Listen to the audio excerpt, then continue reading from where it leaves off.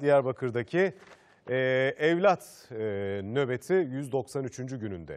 Bugüne dair notlar da sıradaki haberimizde. Ana kurban gel. Sen gelsen sen ceza yemezsen seni kandırırlar. Kimse sana ceza vermez. Gel. Bak sen gelmeden seni almadan ben burada ayrılmam. Terör örgütü PKK tarafından daha kaçırılan oğluna seslendi. Diyarbakır anneleri yaklaşık 6,5 aydır daha kaçırılan çocuklarının umuduyla nöbette. Oğlum için buraya geldim. Oğlumu kim götürmüşse gelsin buraya. Biz oğlumuzun HDP aracılığıyla götürüldüğünü zaten biliyoruz.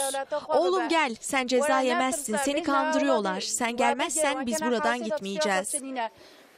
Aileler çocuklarının daha götürülmesinden sorumlu tuttukları HDP'nin hiçbir açıklama yapmamasına tepkili. 7. aya yaklaştık. Hala HDP bize bir açıklama yapmıyor, kaçıyor.